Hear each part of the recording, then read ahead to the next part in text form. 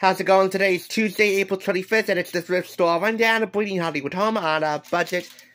This five item haul totals $12.76, with one item being purchased for a discount.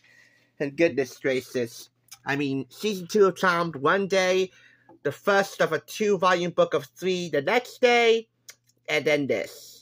For $7.99 at 25% off, and ain't it Mego Piper Halliwell action figure from Charmed.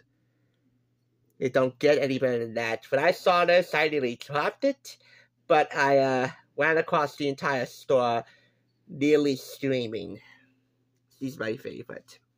We also have here for two ninety nine with the price tag slightly damaged, The Munchies Guide to Dinner, my second Munchies book, first bought from the thrift store, and then for 99 cents a pop, three kids books from three venerable kids TV shows. Curious George makes maple syrup, Wubbzy's Wild Ride from Wow Wow Wubbzy, Fairly Odd Parents, Love Struck.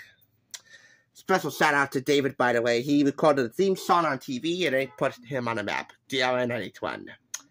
How about that? Thanks for watching.